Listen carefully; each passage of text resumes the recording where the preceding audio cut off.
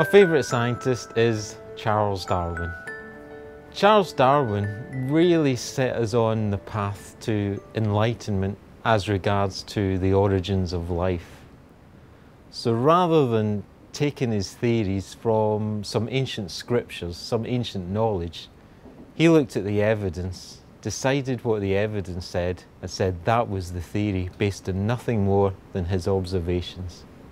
Darwin went to Edinburgh University to study surgery, couldn't stand it. He thought it was all blood and guts, which it is, and it remains to be so.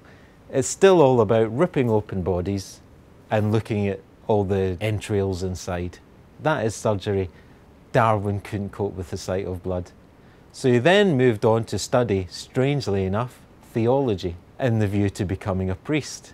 However, he was really more interested in botany, and it's through chatting with the professor of botany at Cambridge that he was offered the chance to go on a voyage of the Beagle to keep the captain of the Beagle sane.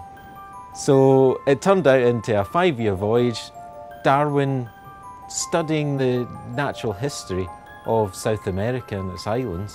And through these observations, he came up with his theory of natural selection, that the qualities that make an animal survive long enough to breed will be passed on to the next generation. And that's really the theory of natural selection leading to evolution. Charles Darwin came at a point when a number of theories were already in progress there was social scientists like Malthus who realised that people would continue to breed until unsustainable levels and it was actually resources that were holding them back. And Darwin thought, well, that's, that's what happens in nature. That's the warring of the species. There was uh, Sir Charles Lyell that said very gradual changes in geology result in enormous changes in the structure of the earth. And he was a close friend of Darwin, and, and Darwin realised that this wasn't just geology that happened, this could be biology as well. About 10, 15 years after Darwin had solidified his theories, there was Alfred Russel Wallace. And Darwin was such a famous scientist, he sent his theory of evolution to Darwin.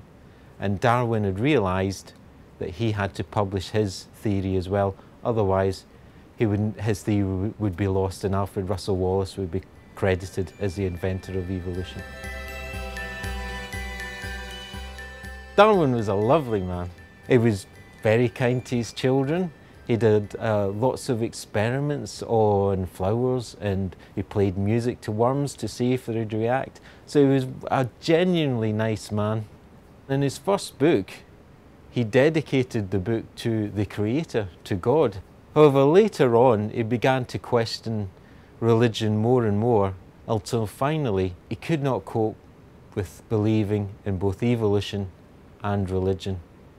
So, people of today that say that Darwin is an arch atheist, well, he was in his own right.